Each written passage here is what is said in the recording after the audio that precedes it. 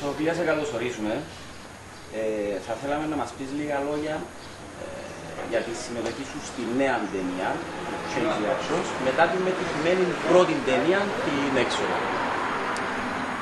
Λοιπόν, ε, η έξοδος πήγε πάρα πολύ καλά, πήρα ένα βραβείο, περάσαμε όμορφα.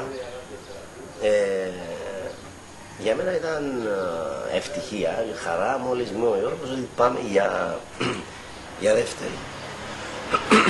Ε, έχω πάρα πολύ εμπιστοσύνη στον Γιώργο και στην οργάνωση του Αντώνη γιατί ο Γιώργος δουλεύει κάπως διαφορετικά από ό,τι δουλεύουν άλλοι σκηνοθέτες.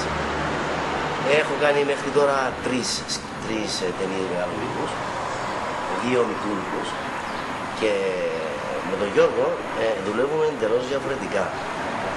Και έχω πάρα πολύ εμπιστοσύνη. Και δεν θα έλεγα ποτέ όχι στον Γιώργο σε μια καινούργια ταινία, ξέροντας το πάθος, ε, τη δουλειά, την, ε, την επαγγελματικότητα που τον διακατέχει για να βγουν τα πράγματα σωστά. Και δεν θα έλεγα ποτέ όχι σε μια καινούργια ταινία του Γιώργου του Ευχαριστούμε.